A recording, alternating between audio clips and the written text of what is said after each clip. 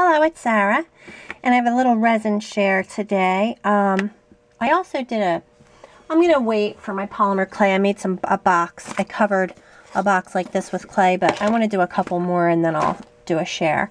Um, I bought some triple thick.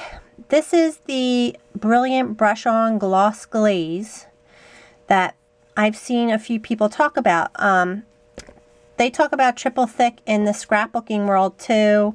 Um, I've, I've heard of it for a while, so I finally bought some today. It's an Americana product, which I, which I do like Americana. I've, I've used their paints for years. I mean, these are a mess, but um, anywho, I wanted to show you, um, all right, so these were just some, some pieces that I, uh, this actually finally worked. I didn't even, these are the soap molds again, so I didn't even um, dome these. I domed the back, but they come out shiny. And finally, this one is like, the colors all showed up and everything. I did it in orange. I like this orange too. This is like a neon orange. You go girl, you can see it. It looks pretty good. I domed it in white. This one, I think I put a little bit of some hearts behind it too. This one I just did the glitter. Um, here's my steampunk one. This is pretty thick. This was a soap mold too. And I did two layers. So the first layer is just the clock. And that's actually um, a sticker. It's a, th a three-dimensional sticker by Jolie. So the first layer is just the clock. I just covered the clock with, with resin. And then the second layer is the other gear. Oh, and then I put the little gold um, glitter on the on the back of the first layer. And then the next layer is the gears. And I put um, these little nuts in there that I had. They were actually a, a chain, like part of a chain. Um, and then I poured the, I think, did I just dome this? I did. I just domed it with black glitter and it didn't come out opaque enough. I wanted it more opaque. So I'm probably going to have to get I don't know, I maybe I should just try black um, acrylic paint. But I really like it. There are quite a few, and I didn't glaze this or um, uh, dome it. So, I mean, those soap molds are really good. Um, what was I going to say? Uh, I forget. But turned out, oh, there's a lot of micro bubbles. I don't know if you can see them.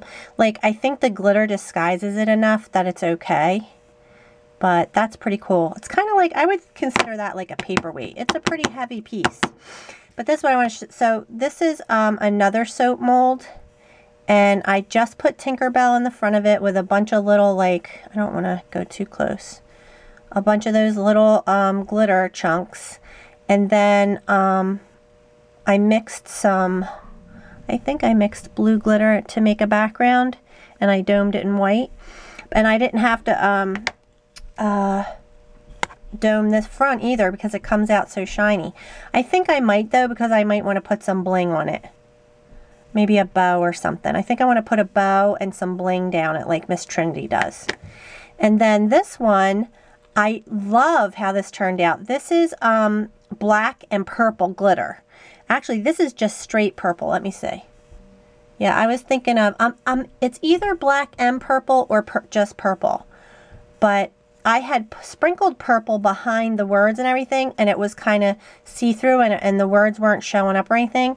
But I domed it with, like, I think... What did I put in this? I forget. Because it's opaque. It's not see-through. Anyway, I like how that one turned out. But this is what I wanted to show my pride and joy. Oh, I did Cinderella. But I did some skulls.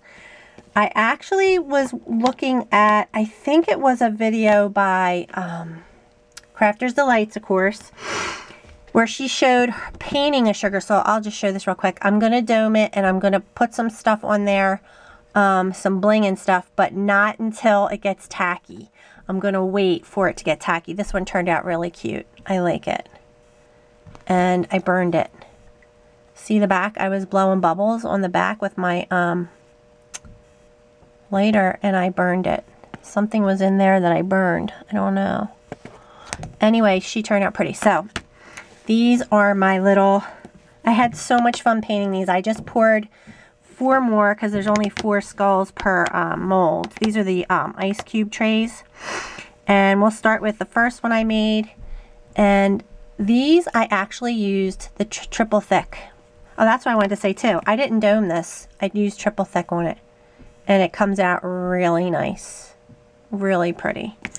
Um, but these I did triple thick because they were kind of dull and I wanted to, I didn't want to dome them because I didn't want a chance messing it up. Oh, and I used triple thick on the back and I had domed it. I domed them in um, purple and it looks like crackle. Like it kind of, I don't know if you can see like the little, there's kind of like cracks. I don't know if you can see that, but anyway, these are pretty cool. I'm making more of these. I love them. They're super cute. I gave them all a gold tooth and some of them I put little um like little decorations on their teeth. I think this was the second one I did. I don't want to get too close. He has purple flowers or pink flowers in the eyes and a heart. I put two like things on his teeth. See how you can see the cracks? It kind of looks like crackle which I don't care. It's an old skull. And there were definitely um, bubbles.